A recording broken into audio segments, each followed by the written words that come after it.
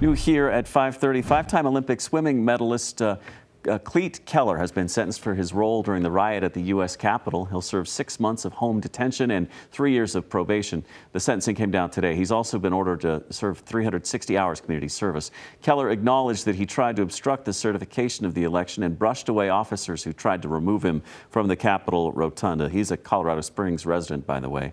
He also said he threw away the distinctive U.S. Olympic team jacket he wore and destroyed his phone after January 6th.